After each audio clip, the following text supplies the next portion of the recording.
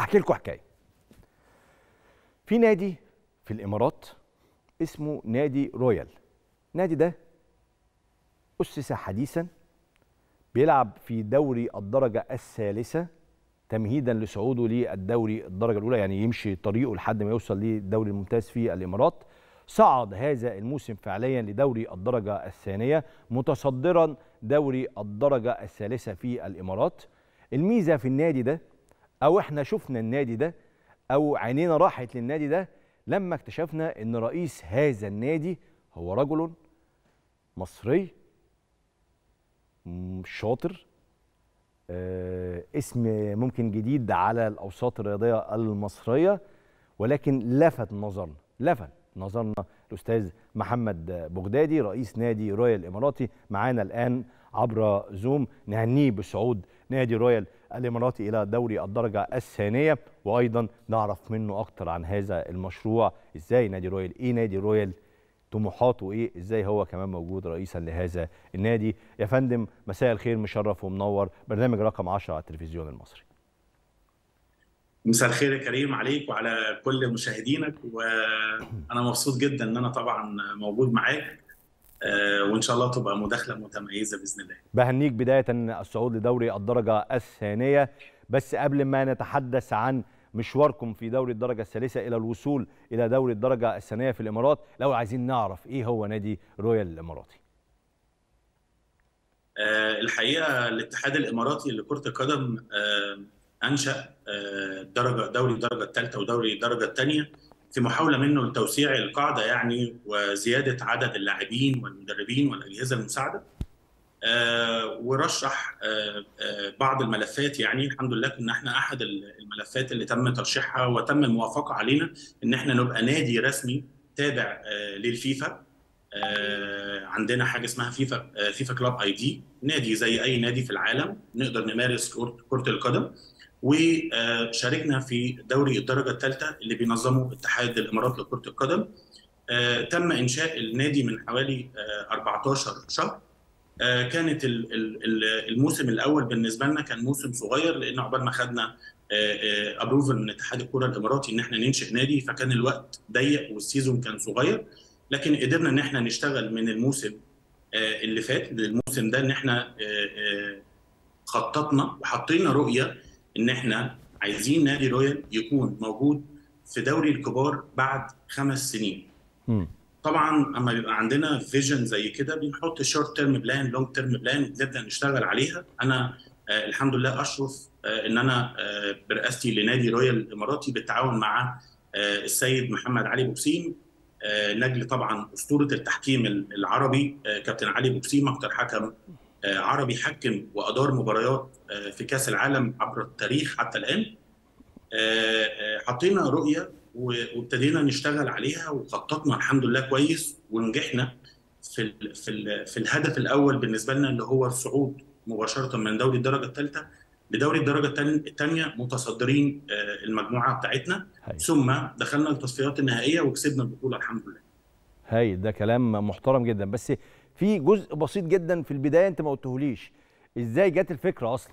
إيه الفكرة؟ يعني ليه قاعدين إمتى؟ كنتوا بتقولوا إيه؟ هنعمل نادي؟ هننافس في الدوري الإماراتي؟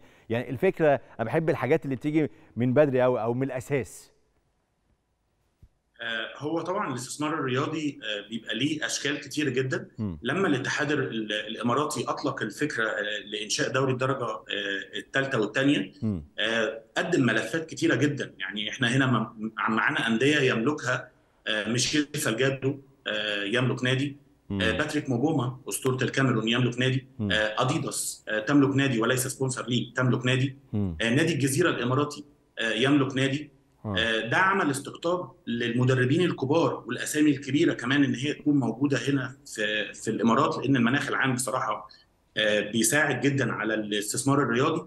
لقينا مثلا ستيفن تيلور نجم نيوكاسل ومنتخب إنجلترا head coach في أحد الفرق. إبراهيم با نجم منتخب فرنسا وباريس سان جيرمان برضه موجود في head coach في أحد الفرق. فالموضوع بالنسبة لنا هو عبارة عن استثمار دبي فتحاه أو الإمارات عموما فتحاه أو الاتحاد الإماراتي فتحه للعالم كله هاي. إن إن إن الاستثمار الرياضي. مناخ كويس هو بيوفره إن إحنا نقدر نشتغل بشكل كويس طيب في حاجة إحنا بنقولها هنا حتى في مصر دائما لما بنشوف نادي استثماري هو بيبقى إضافة لأي مسابقة سواء بقى مصرية إماراتية سواء أي مسابقة لما نشوف نادي بي بي بينشأ جديد ده معناه إنه إحنا هنشوف آه، فلوس تتدفق أكتر آه، لعيبة آه، استثمارات أكتر في اللاعبين ومدربين ومسابقات. كل الأمور دي شيء مرحب بيه. بس دايما بنسأل السؤال المهم وأنت بتستثمر في نادي أكيد بتفكر في الجماهير. هل نادي رويال الاماراتي تتوقع له جماهير؟ هل في جماهير فعلا؟ هل في ناس آه، أو أنت راسم الخطة إزاي إن ممكن يبقى نادي رويال خلال خمس سنين أنت عايز تصعد فيهم لدوري الدرجة الأولى يبقى عندك جماهير؟ كل ده أكيد حاطه أنت في الحسبان. أكيد طبعا أنا أطمح إن أنا يبقى عندي جماهير للنادي تسبورت للفريق في في كل مبارياته ويبقى داعم قوي ليه. آه، وإحنا زي ما إحنا شايفين دلوقتي إن الجماهير سلاح قوي جدا في المباريات يعني وبترجح كافه فرق آه، عن فرق تانية بحجم آه، الجماهير. ولكن إحنا هنا بنصطدم إن إحنا آه، لازلنا آه، في مرحلة الإنشاء. آه، آه، بنكون مطالبين إن إحنا نفكر بره الصندوق شوية لأن إحنا آه، نقدر نقول ان إحنا في ال- في ال- في الطور التطوير بتاعنا. آه، الدخل بتاع الانديه دايما بيكون من ال sponsorship من ال players transfer من ال- ال- ال- ال- ال- tickets بتاعت ال- ال- الماتشات بس إحنا برضو آه، دايما لازم نفكر بره الصندوق أنا نادي لسه آه، في طور الإنشاء مين هيبقى sponsor بالنسبة لي فأنا لازم أفكر آه، بره الصندوق إزاي أنا أجيب income للنادي بتاعي. آه، بشكل مختلف شوية. ولكن اجمالا أنا طبعا أتمنى إن على ال long term يبقى عندي جماهير وده طبعا لا، معلش. ما بيتولدش معلش يا أستاذ محمد أنا أنا عندي أنا عندي هنا أنا عندي محتاجة شوية وقت شوية آه أنا عندي هنا آه، كثير من الفضول لو إحنا تحدثنا إنه مفيش sponsors. مفيش رعاة وبالتأكيد مفيش tickets عشان مفيش آه، جماهير ولو بنتكلم على ال transfer market فأنت يا دوبك لسه فرقة آه، حديثة العهد. فأنت بره الصندوق ده إيه؟ يعني الإنكم بتاعك بتجيبه إزاي؟ آه، بص أول حاجة هو إحنا آه، الاتحاد الكرة الإماراتي لما أنشأ الدوري الدرجة الثالثه ودوري الدرجة الثانية أتاح لنا إن إن القائمه بتاعتنا كلها تكون 30 لاعب أجنبي. فدي بالنسبة لنا فرصة كويسة جدا إن إحنا نجيب ونستقطب لاعبين. آه، آه، أجانب. كتير. فالحمد لله الفريق بتاعنا آه، كله جنسيات معظمهم أفارقة طبعا وفي مصريين. بس إحنا هنا إدارة ال scouting بتاعنا اشتغلت بشكل كويس قوي إن هي تقدر تجيب لنا لعيبة quality كويسة يصعدونا لدوري الدرجة الثانية ويخلونا في مرحلة متقدمة وفي نفس الوقت نقدر إن إحنا نستفيد منهم في نهاية ال season عن طريق إن إحنا نقدر آه، نسوقهم بشكل كويس. مين لا مين لاعبين ده مصريين موجودين معاك دلوقتي sorry مين لاعبين مصريين موجودين معاك في الفريق دلوقتي آه، معانا لعيب آه، مصري آه، آه، اسمه عمر هنيدي كان بيلعب في النادي الإسماعيلي back right متميز جدا. آه، عندنا حارس مرمى اسمه إسلام خالد آه، برضو حارس متميز جدا وعنده آه، الكثير من العروض زيه زي عمر هنيدي. عندنا أحمد مسعد كان بيلعب في إنبي آه، عمر مسعد برضو حارس مرمى كان بيلعب آه، في إنبي لغاية الموسم اللي فات يعني. عندنا محمود النجدي كان بيلعب برضو في الاتحاد السكندري بس سنه صغير شوية. آه، لعيبة كويسة ولعيبة متميزة وإحنا شايفينهم بوتنشال للمستقبل يعني. بتتفاوض مع لاعبين مصريين آخرين في الوقت الحالي؟ آه والله هو إحنا عرضنا في بداية الموسم آه على نادي طلائع الجيش ونادي الإسماعيلي إن إحنا ناخد منهم لاعبين على سبيل الإعارة لاعبين اللي هم بيبقوا مواليد 2001 مم. بس دايما الفكر في مصر بيبقى شوية مختلف يعني. آه موضوع سن 2001 مواليد 2001 يكون آه حتى الآن آه اسمه لاعب ناشئ دي. دي دي مشكلة كبيرة جدا. الأندية بتبص دايما ما- يعني بره فكره التطوير إن هو لا لازم اللاعب يلعب دوري ناشئين علشان بيكون النادي دايما في سكينة في ظهره إن هو خايف من الرأي العام أو خايف من الجماهير بتاعته إزاي فريق ناشئين يخسر من نادي تاني أو كده فما بي ما بيكونش عندهم فكره تطوير في المجالس مجالس الإدارات ودي بتبقى مشكلة شوية في الإدارة الرياضيه الرياضية إن هو ما يكونش عندهم فكرة تطوير لما بعد ذلك. يعني إيه أصلا الغرض من إنشاء قطاع الناشئين؟ هو تجهيز لاعبين للفريق الأول. صحيح. لكن الكلام ده مش موجود تقريبا في معظم الأندية في مصر. بيكون هو غرضه المنافسة على آه، البطولات في مراحل الناشئين مظبوط. وده اصطدمنا بيه لما طلبنا لاعبين على مستوى آه، الإعارة يعني من لعيبة آه، لعيبة كويسة وما عرفناش إن إحنا ناخدهم. بس. بيكون عندنا سهولة شوية إن إحنا نقدر ناخد اللعيبة دي الأفارقة. لعيب الأفارقة بيبقى لعيب متميز عقلية كويسة آه، آه، طبعا بيكون عنده آه، حتة اللغة بشكل آه، شوية آه، كويسة وعنده عدة أو تعدد في اللغات. فده بيساعدنا جدا هنا هو في ال- في البيئة اللي إحنا فيها في دبي إن هو آه، يقدر يساعدنا على آه، ال- الأهداف اللي إحنا حاطينها. أنت كنت لعبت مباريات ودية مع فرقة مصرية أعتقد صح؟ آه آه، لعبنا في فترة الإعداد آه. آه، قدام مع بيراميدز ولعبنا آه، كان بيراميدز عامل آه، معسكر هنا آه، في فترة الإعداد ما قبل الدوري يعني.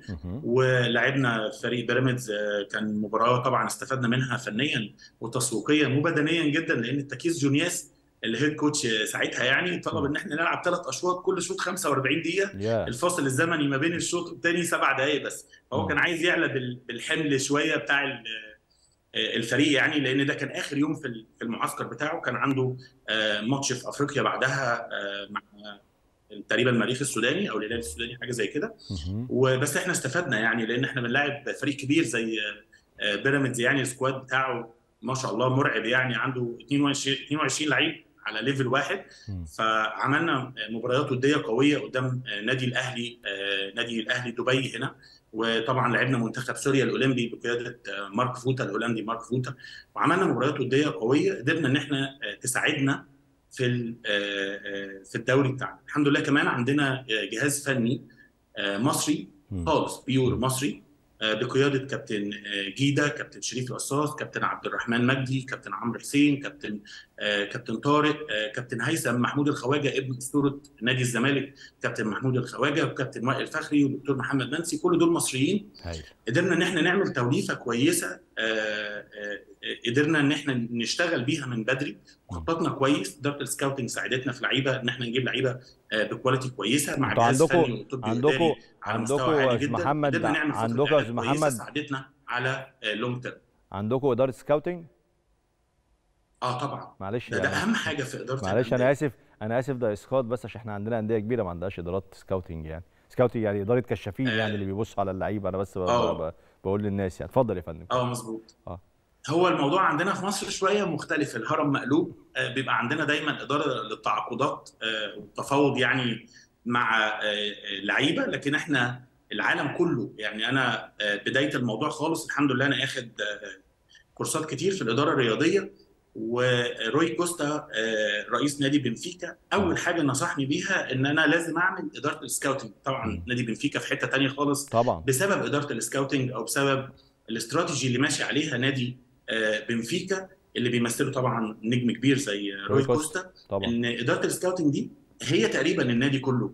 صح. آه، تقدر إن هي تكتشف آه، آه، مواهب في في في في عدة بلدان سواء آه، آه، طبعا معظم ال- المنجم كله بيكون في أفريقيا.